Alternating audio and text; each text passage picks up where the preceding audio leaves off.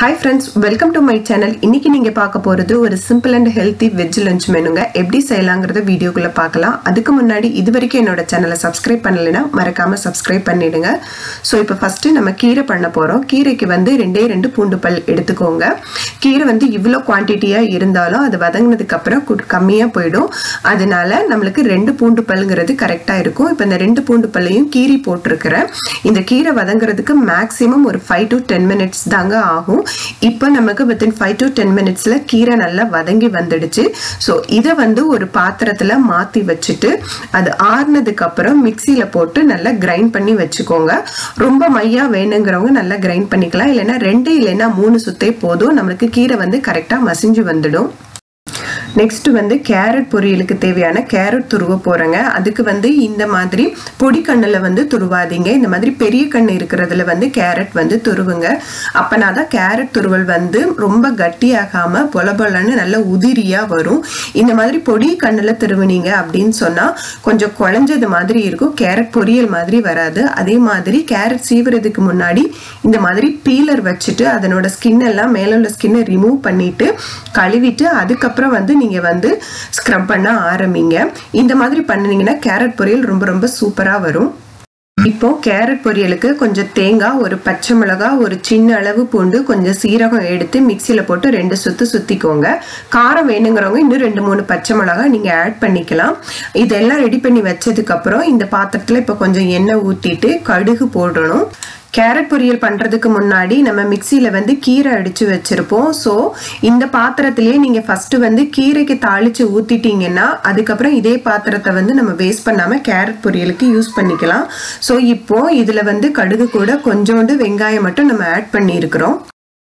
இப்போ வெங்காயம் நல்லா வதங்கினதுக்கு அப்புறம் இதை வந்து மிக்சியில் கிரைண்ட் பண்ணி வச்சிருக்க கீரை கூட வந்து ஆட் பண்ணிக்கோங்க. தேவையான உப்பு வந்து இது கூட நீங்கள் ஆட் பண்ணிவிட்டு இதை மிக்ஸ் பண்ணி விட்டால் மட்டும் போதும். இதை வந்து காரக்குழம்பு கூட இல்லை சாம்பார் எந்த குழம்பு கூட இல்லைன்னா வெறும் கீரையை மட்டும் கூட நீங்கள் குழந்தைங்களுக்கு சாதத்தில் மிக்ஸ் பண்ணி கொடுக்கலாம். ஸோ இப்போ அதே தாளிச்ச பாத்திரத்தில் திரும்பவும் கொஞ்சம் நம்ம எண்ணெய் ஊற்றிட்டு கடுகு போட்டுட்டு கடுகு வெடிக்க ஆரம்பித்ததும் நீங்கள் வந்து பெரிய வெங்காயம் ஒரு அரை வெங்காயம் இல்லைன்னா நிறைய பிடிக்கும்னா நீங்கள் ஒரு முழு வெங்காயம் கூட இந்த கேரட் பொரியலுக்கு நீங்கள் சேர்த்துக்கலாம். எவ்வளோக்கு எவ்வளோ வெங்காயம் சேர்க்குறீங்களோ ரொம்ப டேஸ்ட்டாக இருக்கும். இப்போ நான் வந்து ஒரு அரை பெரிய வெங்காயம் வந்து சேர்த்துருக்கிறேன். இதை இப்போ நல்லா வதங்கி வரணும். ஒன்றே ஒன்று மட்டும் ஞாபகம் வச்சுக்கோங்க. இந்த கேரட்டோட அளவை விட நமக்கு வந்து வெங்காயத்தோட அளவு கொஞ்சம் கம்மியாக இருக்கணும். அந்த அளவுக்கு நீங்கள் வெங்காயம் சேர்த்தா போதும். கேரட்டு வதங்கினதுக்கு அப்புறம் கொஞ்சம் கம்மியாகவும் ஆகும். ஸோ அந்த அளவுக்கு ஏற்ற மாதிரி நீங்கள் வெங்காயம் சேர்த்தீங்கன்னா கேரட் பொரியல் ரொம்ப ரொம்ப டேஸ்ட்டாக வருங்க. வெங்காயம் நல்லா வதங்கினதுக்கு அப்புறம் இப்போ நீங்கள் துருவி வச்சிருக்கிற கேரட்டை நீங்கள் ஆட் பண்ணிக்கலாம். கேரட் ஆட் பண்ணதுக்கப்புறம் ஒரு டூ மினிட்ஸ் வந்து லைட்டாக வெங்காயத்தோடி நல்லா மிக்ஸ் பண்ணுற மாதிரி வதக்கி விடுங்க. கேரட் ஒரு டூ மினிட்ஸ் வதங்கினதுக்கு அப்புறம் இப்போ ஒரு ஸ்பூன் இல்லைன்னா அரை ஸ்பூன் அளவு மஞ்சத்தூள் ஆட் பண்ணிட்டு தேவையான அளவு உப்பும் ஆட் பண்ணிக்கோங்க. இப்போ இதை ரெண்டுத்தையும் ஆட் பண்ணிட்டு கூட கொஞ்சம் நல்லா மிக்ஸ் பண்ணி விடுங்க. இப்போ நல்லா மிக்ஸ் பண்ணிட்டு இந்த மாதிரி ஒரு மூடி போட்டு மூடி வச்சிருங்க. வித்தின் ஃபைவ் டு டென் மினிட்ஸில் சூப்பராக நமக்கு கேரட் வெந்து வந்துடுங்க. எந்த ஒரு தண்ணியும் தேவையில்லை. நல்லா பொடிசாக திருவி இருக்கிறதுனால வித்தின் ஃபைவ் டு டென் மினிட்ஸில் நமக்கு கேரட் வந்து வெந்து ரெடி ஆகிடும் இப்போ பாருங்க வித்தின் ஃபைவ் டு டென் மினிட்ஸில் நமக்கு கேரட் நல்லா வெந்து அழகாக வந்துடுச்சு. இது கூட இப்போ நம்ம அரைச்சி வச்சிருக்கிற மசாலாவை இப்போ நம்ம ஆட் பண்ணிக்கலாம். இதையும் ஆட் பண்ணிவிட்டு தேவைப்பட்டால் உப்பு நீங்கள் கொஞ்சம் ஆட் பண்ணிவிட்டு கேரட்டு கூட இந்த மசாலா நல்லா மிக்ஸ் ஆகிற மாதிரி நல்லா மிக்ஸ் பண்ணி விடுங்க. நல்லா மிக்ஸ் பண்ணி விட்டுட்டு ஒரு டென் டு ஃபிஃப்டீன் மினிட்ஸில் லோ ஃப்ளேமில் வச்சுட்டு அந்த பச்சை வாடை போகிற அளவுக்கு நீங்கள் வச்சா மட்டுமே போதுங்க. கேரட் பொரியல் நமக்கு சூப்பராக ரெடி ஆகிடும் இப்போ பார்த்தீங்களா டென் மினிட்ஸில் பச்சை வாடெல்லாம் போய் சூப்பராக ரெடி ஆகிடுச்சு ஸோ இப்போ நம்ம நெக்ஸ்ட்டு பண்ண போகிறது காரக்குழம்பு தாங்க.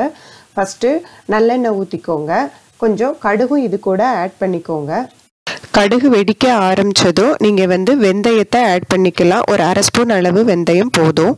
வெந்தயமும் நல்லா பொரிஞ்சு வரும்போது ஒரு ஸ்பூன் அளவு சீரகம் ஒரு ஸ்பூன் அளவு மிளகு. இதை ரெண்டுத்தையும் நுணுக்கி இப்போ இது கூட ஆட் பண்ணிக்கிறேன்.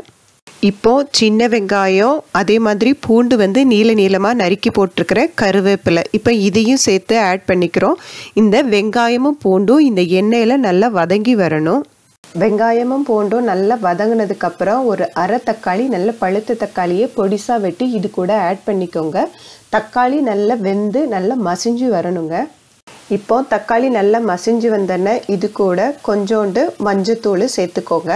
அது கூட காரத்துக்கேற்ப மிளகாத்தூள் அது போக ரெண்டு ஸ்பூன் தனியாத்தூள் சேர்த்துருக்கிறேன் தனியாத்தூள் கொஞ்சம் அளவு கூடுனாலும் பரவாயில்லை. ஸோ இப்போ இதை எல்லாத்தையும் சேர்த்துட்டு இந்த மசாலா பொடி எல்லாமே இது கூட நல்லா மிக்ஸ் ஆகிற மாதிரி பரட்டி விடுங்க. ஆனால் ரெண்டு நிமிஷத்துக்கு மேலே செய்யாதீங்க. ஏன்னா மசாலா கருகிடும். அந்த அளவுக்கு கருகாமல் செஞ்சுட்டு இந்த அளவுக்கு வந்ததுக்கப்புறம் காய்கறி என்னென்ன வேணுமோ நீங்கள் ஆட் பண்ணிக்கலாம். நான் இன்னைக்கு வந்து கத்திரிக்காவும் முருங்கைக்காவும் ஆட் பண்ணுறேன் இப்போ காய்கறியை ஆட் பண்ணதுக்கு அப்புறம் வேகிற அளவுக்கு மட்டும் கொஞ்சோண்டு தண்ணியை ஆட் பண்ணிக்கோங்க. எடுத்த உடனே புளிக்கரைசல் சேர்க்காதீங்க. ஏன்னா புளிக்கரைசல் ஊற்றுனீங்கன்னா காய்கறிகள் வந்து வேகாது.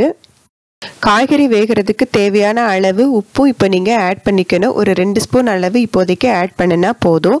இதை மூடி போட்டு நல்லா ஒரு டென் டு ஃபிஃப்டீன் மினிட்ஸ் வந்து வேக விட்டுருங்க. டென் டு ஃபிஃப்டீன் மினிட்ஸில் இந்த காய்கறி வெந்ததுக்கு அப்புறம் திரும்ப நீங்கள் புளிக்கரைசலையும் ஆட் பண்ணிவிட்டு அதையும் திரும்பவும் நீங்கள் க்ளோஸ் பண்ணி வச்சுடுங்க.